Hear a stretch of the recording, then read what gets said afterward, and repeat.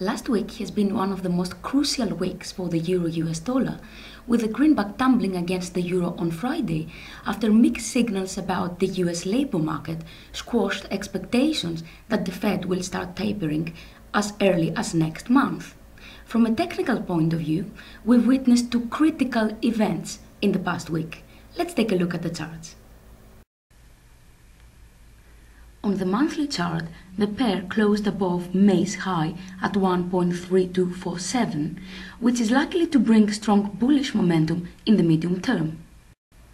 On the daily chart, the pair managed to consistently stay above key resistance at 1.3254, which is June's 21st highs. What is important about this level is that it paves the way for key resistance at 1.3415. At 1.3294 this morning, the market kick-started the week on a positive footing. Stability above 1.3255 on daily closing is likely to have large bullish implication towards the 1.3415 area.